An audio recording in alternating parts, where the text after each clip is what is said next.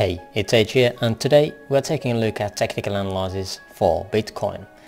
Now another update video and last update was created around 25th of April a couple days ago. So let's get an update and see where we're going at on Bitcoin price. Now the previous idea was that we had a five wave structure here coming down. Now those targets were hit pretty perfectly here uh, at that low of 25th of April and after that we've had some kind of weird price action that does not seem to be complying with this current count anymore. So we're going to go through the options that we have next.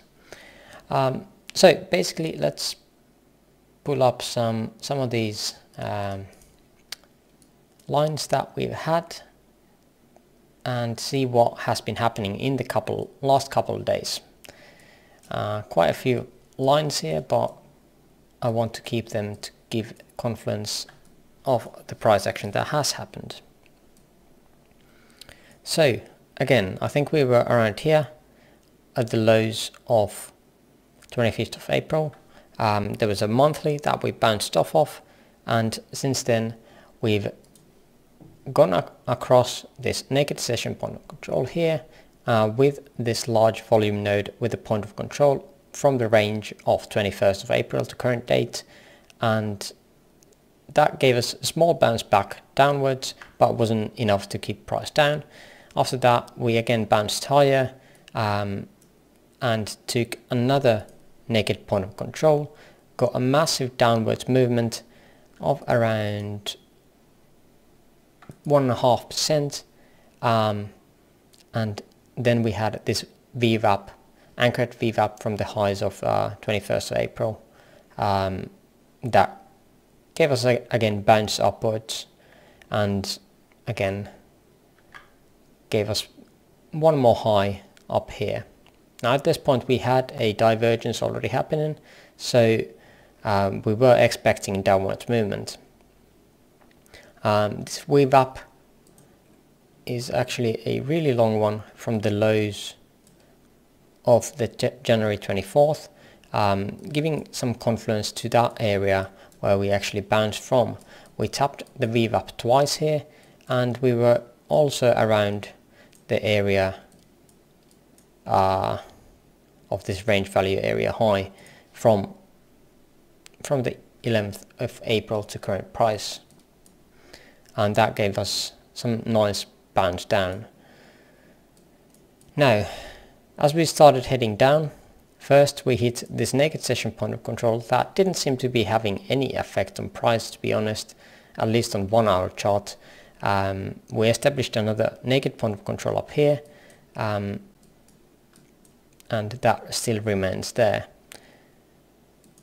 I'll remove that, oops, that naked point of control here.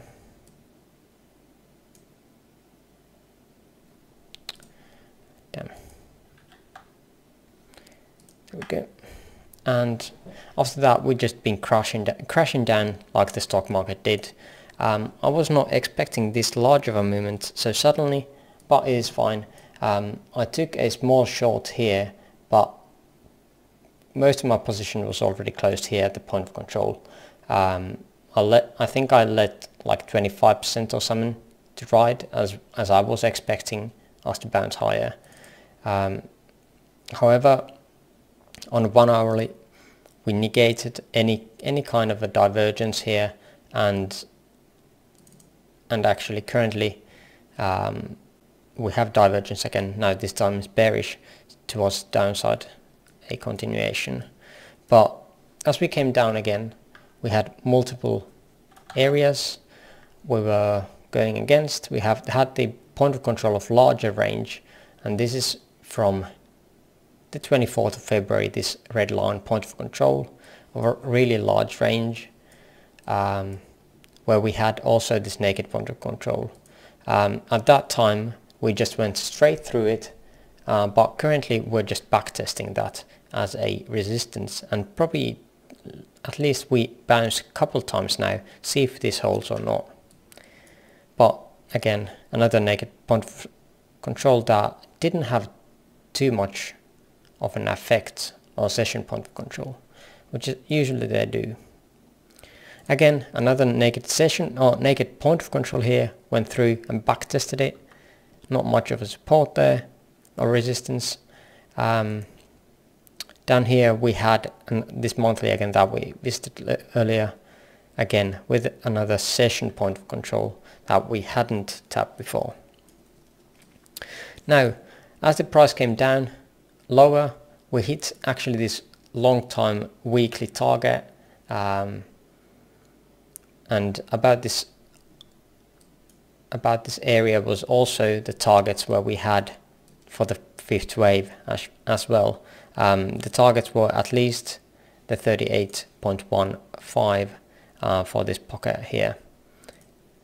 Also, I was targeting this area as a possible ABC as this first move does not really look like a five-wave move. Um, so I was preparing for some kind of profit taking here and taking a small long here. Um, the 618 was again hit with the weekly around here, um, now giving us a bounce up. And that's how we ended up on the current prices. Um, now currently we have the our bearish divergence here, but we'll see the price would need to travel quite a lot, another 4% to nullify that. Um, and this is this was actually on smaller time frame, not one hourly. For example, 15 minutes. And we've had had this for quite a while now, so that has to be kept in mind. We of course we already did a small rejection here, but we'll see if that has any any effect.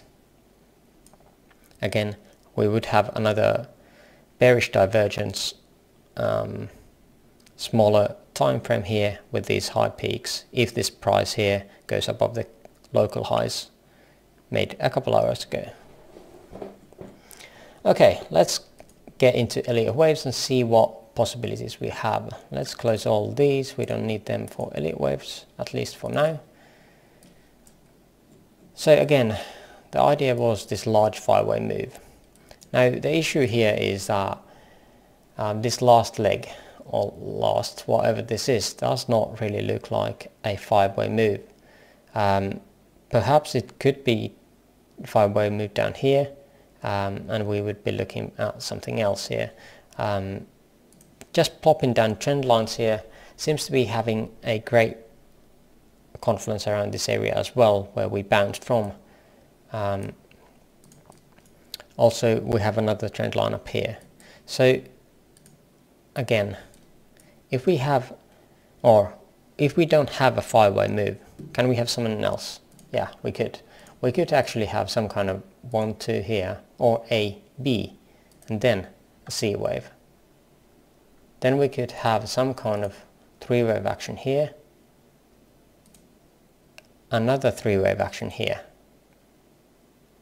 Now, if this is another ABC, um, we could be looking for something going higher and then again lower making this whole structure a WXY. Now there's also a possibility here to say that this actually, this middle section here is a expanding triangle which is super rare, or well not super rare but quite rare uh, compared to normal uh, contracting triangle. Mm. Again, we would be targeting here around, well, let's see actually, what are these targets for this current ones? 1.618 here, um, and here we go around 1.618. So we most likely would be expecting again 1.618 of the previous move which would bring us all the way up here around 45k. Um, I think depending on how high and how fast we go there um, we could be just falling short of that target to be honest. Uh, we would need to look into some volume data here. The drop was higher than the previous moves but again we can see some kind of trend here of the highs going higher. Um, on contracting diagonals that would be the other way around. Um, so again we would need loads of volume to bring us the price up here. Now what does what would that mean if the price comes up here what is that then? Well is this simply we would be looking at three-wave move here a triangle here A B C D E. Let me close that count we had before. And this would be let's say mining for now for these reasons. And then we would just have this kind of move that would definitely most likely take out these lows. Um, let's take a, a quick look. What kind of targets would we be expecting? 0.618 again the minimum uh, I would be targeting. Again this is the fact if we come up to the 1.618 here. Um, targets around 39.4k um, one to one here around 36.4 now anything between here or even it could even go below um, but I'm sure if that would be looking too good.